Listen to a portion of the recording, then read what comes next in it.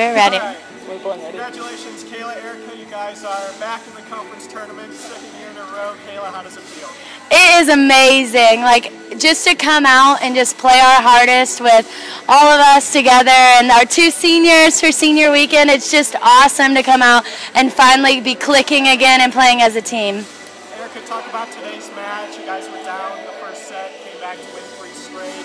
Uh, what was the difference um, the difference, really, we've been working on practice on just fine tuning little details and things we've kind of struggled with the past couple weeks, and I think we picked it up, and coming back was all about what today was about. Anyway, you had 54 assists today, you really spread the offense well. Talk about how the offense did. The offense did amazing. We were running quick sets, we were running cross plays, we were just running everything that we've been practicing for the past couple of weeks, and it just it really worked for us today. So the hitters really stepped up, and I could set any single one of them, and they'd put the ball down again.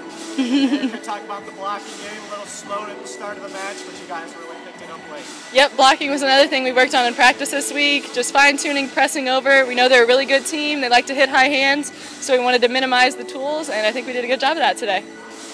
Kayla, uh, you guys uh, had to survive a couple set points there in that uh, third set, was it? Oh, yes. Uh, talk through the end of that set. How were you guys able to pull it out? Well, we always play and practice these short little games to three to five points. So coming out and playing in the end of a game is actually kind of easy for us because we're so used to being in like high pressure, tough situations from practice that coming out there, we all knew what we had to do and we all were good at finishing the game. Erika, senior weekend. Who do you have in town this weekend, and what are you looking forward to tomorrow? Uh, I've got my grandparents that came down. They haven't seen me play live in quite a while. They watch on Hatter Vision, but not quite the same. Uh, my parents are here. My sister's here broadcasting uh, tonight. That was cool. She got to do that for my family back home, and I just I can't believe it came by so fast. But I'm ready to make it count. Thank you guys. Congratulations. Thank, Thank you. you.